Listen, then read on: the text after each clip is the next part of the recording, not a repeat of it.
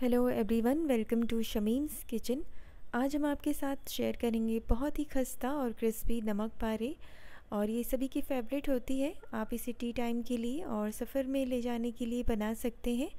तो आइए इसे बनाना स्टार्ट करते हैं। तो नमक पारे बनाने के लिए एक बोल में हम दो कप मैदा ऐड करेंगे और अगर आप मैदा में नहीं बनाना चाहते हैं तो दो कप गेहूँ का आटा भी ऐड कर सकते हैं इसकी जगह। और इसे और भी क्रिस्पी बनाने के लिए दो टेबल स्पून सूजी भी इसमें ऐड कर सकते हैं। अब इसमें हाफ़ टी स्पून अजवाइन लेकर हाथों से इस तरह से क्रश करके इसमें ऐड कर देंगे, जिससे इसका फ्लेवर और भी ज़्यादा बढ़ जाएगा। और अब इसमें हाफ़ टी स्पून नमक ऐड करेंगे और इस तरह से स्पेस बना लेंगे। और अब डाल देते हैं इसमें हाफ़ कप रिफ़ाइंड ऑयल और आप चाहें तो ऑयल की जगह घी का भी इस्तेमाल कर सकते हैं। और अब मैदा को ऑयल में अच्छी तरह से मिक्स कर लेंगे। जितनी अच्छी तरीके से आप मिक्स करेंगे, उतने ही ज़्यादा ये खस्ता और क्रिस्पी बनकर तैयार होंगे। और इस तरह से मैदा को मसल मसल कर मिक्स करेंगे।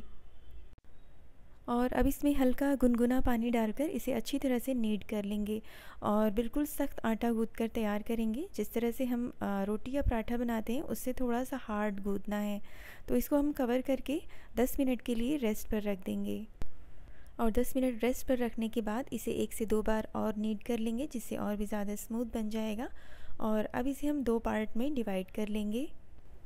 और बड़े साइज़ का पेड़ा बनाकर तैयार कर लेंगे। अब सरफेस पे थोड़ा सा मैदा डस्ट करेंगे। और अब जो हमने पेड़ा बनाया है, उसे हाथों से फ्लैट कर लेंगे और इस तरह से रोलिंग पिन से रोल करके इसको पतला सा शीट बनाकर तैयार करेंगे। तो शीट को इस तरह से तैयार कर लिया है और थिकनेस आप देख सकते हैं, जिस तरह से रोटी का थिकनेस होता है, उससे थोड़ा सा पतला रखना है और अब नाइफ़ या फिर पिज़्ज़ा कटर की हेल्प से इस तरह से स्ट्रिप्स में काट लेंगे।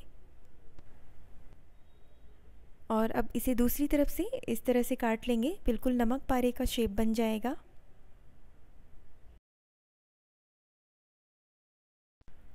और अब इसके ऊपर थोड़ा सा मैदा डस्ट करेंगे और ब्रश की हेल्प से इसको स्प्रेड कर लेंगे। मकसद सिर्फ़ यही है कि एक दूसरे से चिपकेंगे नहीं। और अब इसे स्पैचुला से इस तरह से उठा लेंगे और इसे उठाकर एक प्लेट में रख लेंगे और ये बिल्कुल भी एक दूसरे से चिपकेंगे नहीं। और इस पर हमने मैदा इसीलिए डस्ट किया है ताकि जब हम इसे प्लेट में एक साथ रखें तो एक दूसरे से स्टिक ना हो। और इसी तरह से दूसरा शीट बनाकर इसे लंबे लंबे पतले स्ट्रिप्स में काट लेंगे। और सारे नमक पारे हमने इसी तरह से बनाकर तैयार कर लिए और ये बहुत ही आसानी से बन भी गया है। तो अब हम इसे फ्राई करेंगे। तो यहाँ पर एक पैन में ऑयल को हमने अच्छी तरह से गर्म कर लिया है और इसके बाद स्ट्रेनर में इस तरह से लेकर नमक पारे को ऑयल में डाल देंगे। और अब इन्हें फोक की हेल्प से अलग कर लेंगे और लो फ्लेम पर इसे हम पकाएँगे जिससे कि ये अंदर तक अच्छी तरह से कुक हो जाएँगे। और बीच बीच में नमक पारे को चलाते रहेंगे, जिससे कि इन पर इवन कलर बना रहेगा। और इसे लो फ्लेम पर पाँच से छः मिनट के लिए फ्राई कर लेना है। जब इस पर गोल्डन कलर आ जाए, तब तक हम इसे फ्राई करेंगे। और अभी देखिए बिल्कुल क्रिस्पी हो गए हैं। इन पर सुनहरा कलर आ गया है तो अब इसे स्ट्रेनर में निकाल कर रखते जाएँगे, जिससे जो भी एक्स्ट्रा ऑयल होगा, वो निकल जाएगा।